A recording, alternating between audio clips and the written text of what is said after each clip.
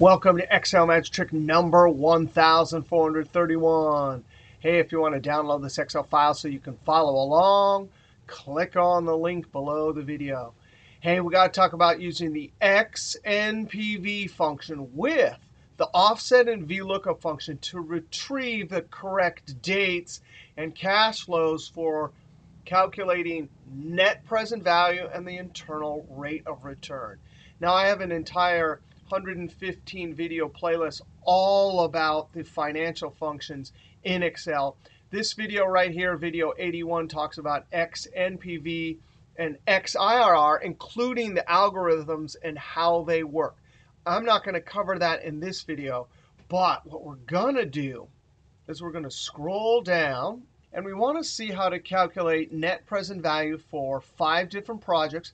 They each have their required rate of return. If we can't get a rate of return greater than this for each one of these projects, we do not want to undertake that project. Over here in the project column, we have project A listed many times that says these are the irregular dates and here are the cash flows. Now, the reason we use XNPV or XIRR rather than just the straight NPV or IRR or present value function is because we have irregular time periods here.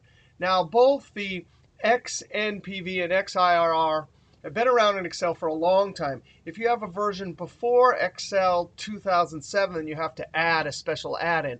But these have been around for a long time. And they're specifically, the X ones are specifically created to deal with irregular time flows. Now, the problem here is I, don't want to do this. I don't want to manually highlight the dates and cash flows for each set of Project A data points and then do the same thing down here for the B ones. A, it'd take a long time if I had a lot of projects. It's error prone because I'm manually highlighting the ranges. And if I ever sorted or added new data, it would just be a mess. So we want in one formula, just put it in, copy it down, and it automatically knows to get the right cash flows. Now, to get the required rate of return, we'll use the VLOOKUP function. In order to get the correct date for each one of our functions, we're going to use the offset function. And the offset function, you tell it a starting point and it knows to go down a certain amount of distance. So for project A, it would go highlight this range. If it was project B, it would still offset, but it would know to go down to the starting position where it found the first project B, and then it would know the height of this range because we can count how many project Bs there are here. All right, let's see how to do this. Click in the cell equals X N tab. Now the rate, that's where we need to use the VLOOKUP. I'm going to look up project A, comma, within this table. Now, I've already converted these to Excel tables, so when I highlight this, it shows us the name that I gave that table. That table is named RRR for required rate of return. Now, VLOOKUP will find a match in the first column and go over to the second column, get that rate, and bring it back. Now, comma, column, I have to tell VLOOKUP which column, 1 or 2, has the thing I want to go and get and bring back to the cell. It's the second column. So I type 2, comma. We're doing exact match because we're trying to find exactly project A in the first column. So I either put false or 0. Close parentheses. So that VLOOKUP is going to get the correct rate for our XNPV as I copy down. Now, comma. The values and the dates, we're going to use the offset function. Now, the way offset works is we give it a starting and how many rows or columns to move away from that starting point, and then the height and width of the range we want. Now, reference, this is for cash flows. So I'm going to click on the column header in this Excel table, and notice what happens. It puts the table formula nomenclature in for what they call a header name, which is our cash flow. Name of the table, and then all of that just means no matter where I copy this, it'll always give me the cell where that cash flow column header or field name is. So that's our starting point, comma. Now rows. That's how many rows from the starting point we want to go up or down. Now we want to go down, so we need to add rows. And the way we're going to do that is by using the match function. Now, match allows you to look up a particular item. We're always, as we copy the formula down, going to look up the project name. So we're looking up project A, comma. And we have to tell match where is the list that we're going to try and find project A. Now watch this. I'm going to come over here. And since I want the entire column, this is an Excel table. So very carefully, I hover my cursor at the top part of the project field name, not the selection cursor, but that downward pointing black arrow. I click, and it puts the whole column in for me. Now that's table formula. Nomenclature, name of the table. That's actually irregular cash flows, ICF. And then in square brackets, the name of the field name, comma. And then we need to tell match to do an exact match. Now, the reason that we're doing exact match here, close parentheses. If I think about what match is doing right here, it's looking up project A.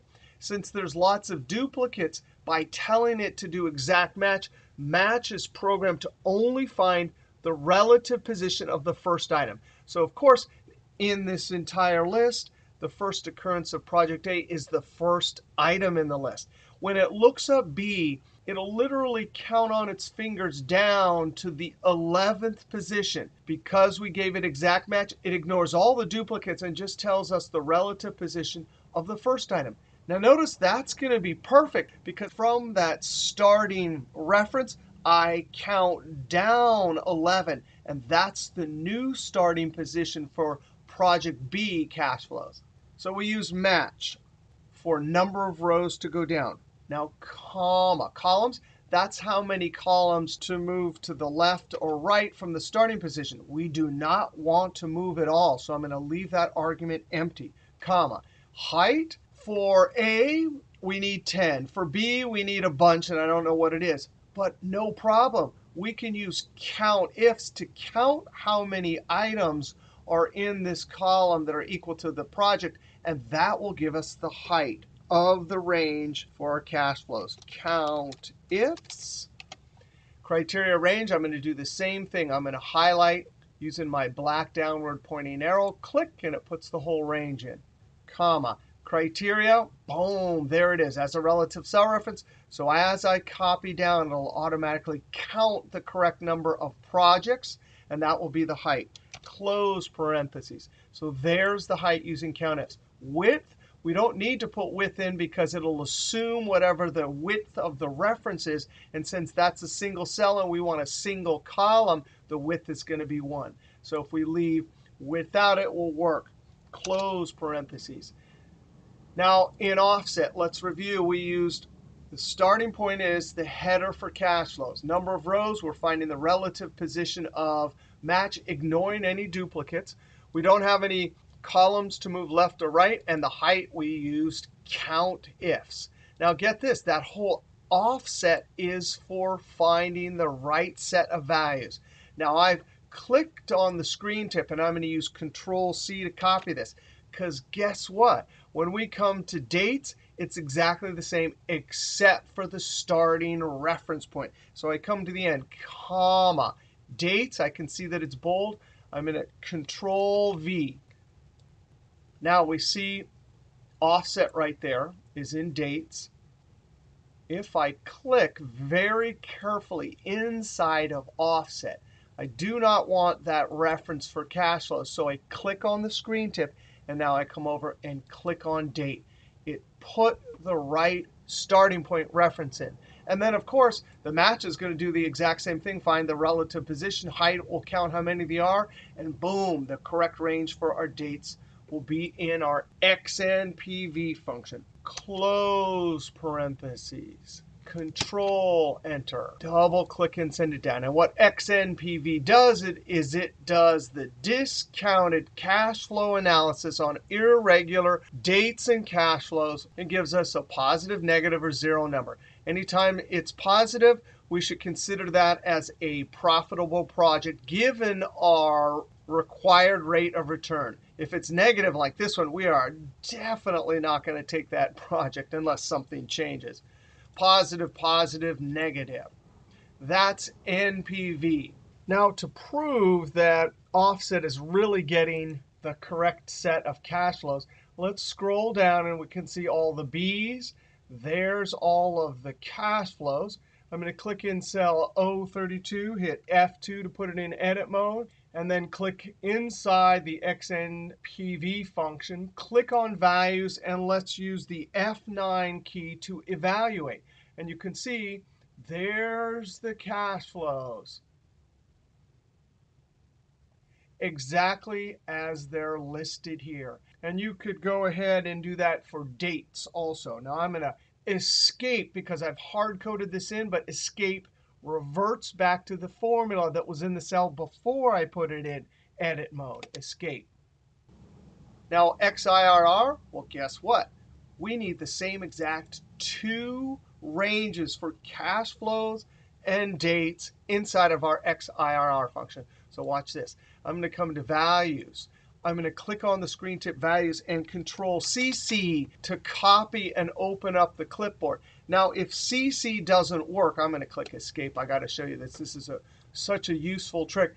If CC doesn't work, you actually have to manually come over to clipboard. And it's helpful because, especially with big formula elements, we can collect them up and paste them in any order we want. But if CC doesn't work, you come down to Options, and there it is. You have to make sure to check that.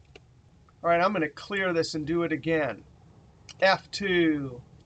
Click on Values, Control C, C, and there it is. Now I click on Dates, and that's the offset for dates.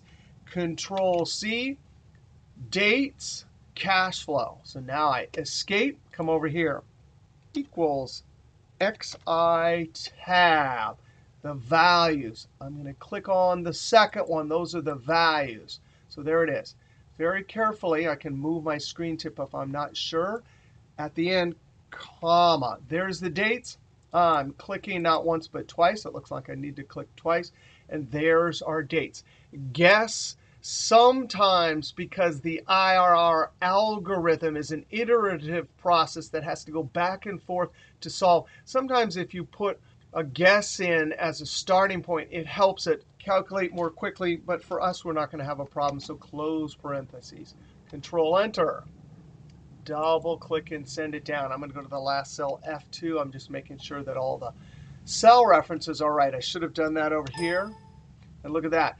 That table formula nomenclature for field name at the top is working fine. Same for the table. Same for our project relative reference. Now with IRR, you compare.